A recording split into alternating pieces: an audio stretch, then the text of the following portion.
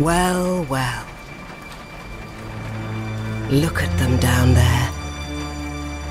Scurrying about in their miserable little lives. Never accomplishing anything of importance.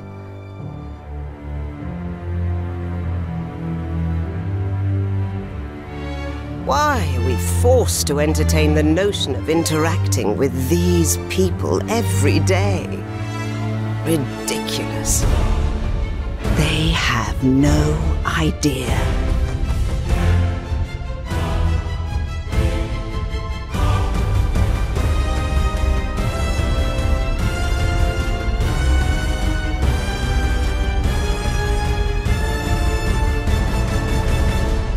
Tell me, do you knit those sweaters yourself?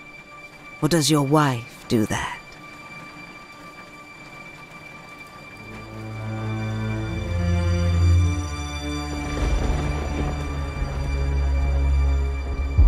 A man needs a hobby, Miss Savalas.